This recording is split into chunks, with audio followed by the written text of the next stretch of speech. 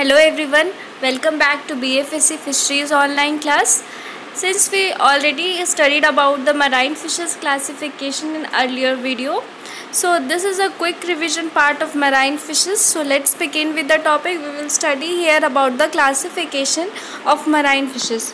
So uh, we know that uh, elasmobranch, uh, chondrichthyes and osteichthyes are the Pisces two classes and we further classify the elasmobranchi for studying the family and order.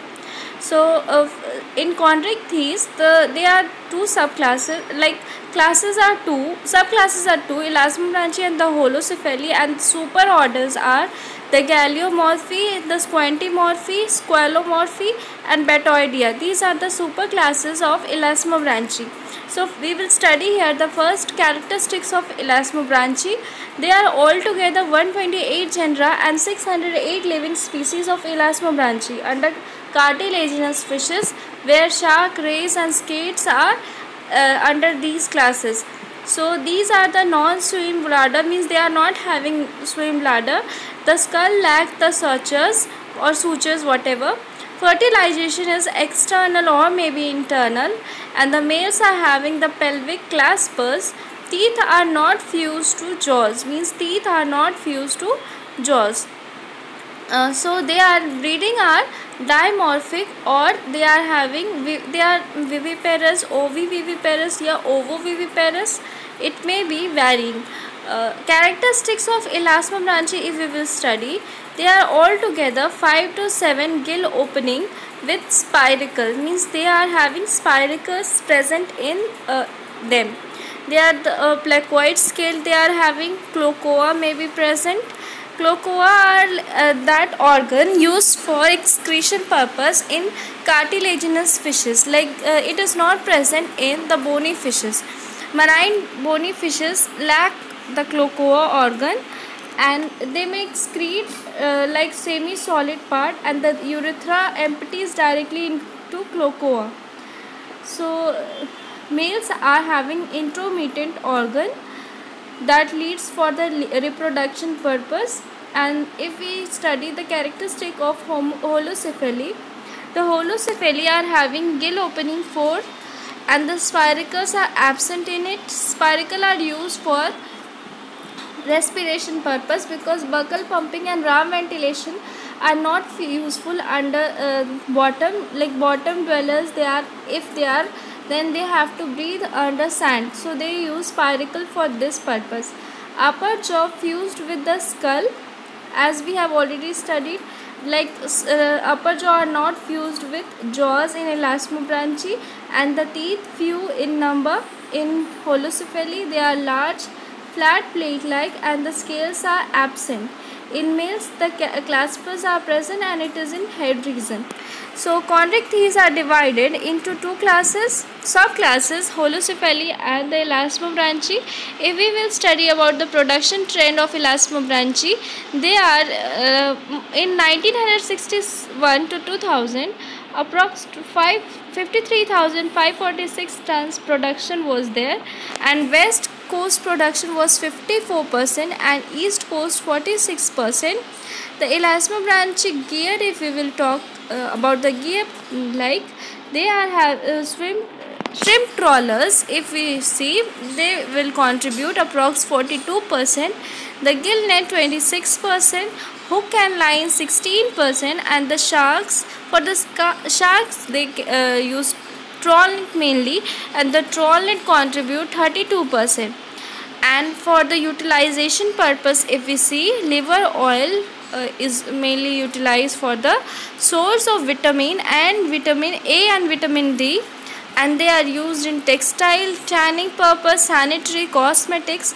cartilage, fins and skin or teeth are also useful in sharks. Jaws and viscera of them are also used for the fish meal preparation.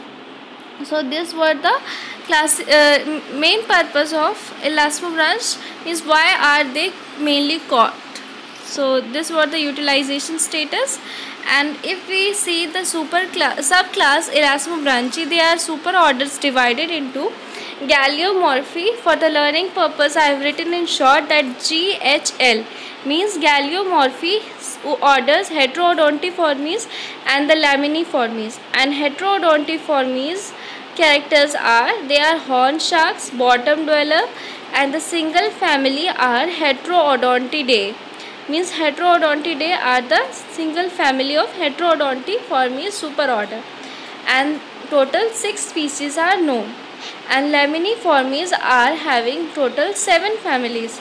They are Orectobolidae that is nurse, nurse shark, Odontoaspididae that is sand shark, Laminidae thresher shark, mackerel shark and Scyliorhinidae that is uh, cat sharks, Carcharhinidae that is smooth shark and hammerhead and uh, the other one is Rhinodontidae that is whale shark. These are all the families under Laminiformes and Squantimorphi are angel shark family. Squantinidae one genus are Squantina and the intermediate is sharks and the rays. Similarly, Squalomorphi are divided, uh, classified as means the characteristics are look like rays with bottom flattened body and the large pectoral fin not attached to the head. They are ha large having large spiracle, 5 gill opening they are having and 2 dorsal fin altogether. These are the characteristics of squalomorphi written over here. And for the order part, we will see that they are further divided. Superorder squalomorphi are divided into order Hexanchiformes, uh, Squaliformes and Pristiformes. Is in Hexanchiformes you can see that there are 6 species deep water 6 to 7 gill opening they are having and the family are divided in Calmi uh, Odo, Sphalidae and Hexanchidae.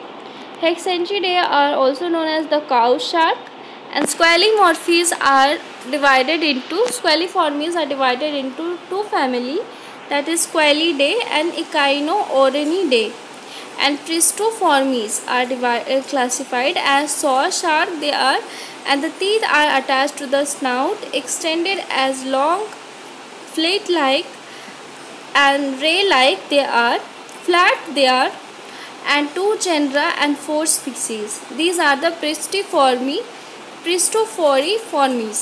These are the order of squalomorphi. And if we lead to the Batoidea, that is the rays and the scales come under it, they are uh, gill opening are ventral in position and the pectoral fin are enlarged. No anal fin are present in Batoidea. Nictitating membrane are absent over it. Eye and spiracles are present they are bottom living and the order under Batoidea are Mylibatoidiformes, Rajiformes, Pristiformes, Torpeniformes. These are the orders of Batoidea. So this was the classification of subclass Elasmobranchi till family level. So we will further continue uh, for the osteichthyes that is bony fishes. Thanks for watching. If you like it then please do like, comment if you want more lectures and subscribe my channel. Thank you so much.